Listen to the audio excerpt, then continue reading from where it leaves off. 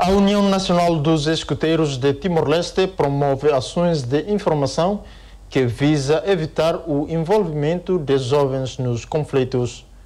A iniciativa teve lugar na Escola Técnica Informática em Comoro. O programa da Unitel surge na sequência dos conflitos que ocorrem em bairros que terão sido envolvidos por jovens. A Secretaria de Estado de Juventude e Desporto deu confiança à União dos Escuteiros para liderar este movimento nas escolas secundárias. Vários problemas sociais que são envolvidos por jovens por isso, os escuteiros organizam ações de informação que têm por objetivo mudar as mentalidades dos jovens.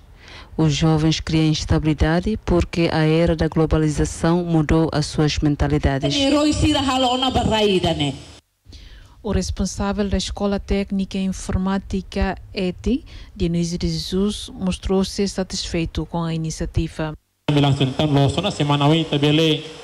É preciso haver mudança na mentalidade dos jovens. A escola agradece à presidente da União Nacional dos Escuteiros de Timor-Leste e os seus membros e recomendo para que continuem no futuro. para a formação e me agradecer a presidente da Unitel destaca a necessidade de jovens timorenses contribuírem para o desenvolvimento do país, evitando envolver nos conflitos. A atividade contou com a participação de 120 alunos. Verônica Barros, Abrão da Costa, Artatal.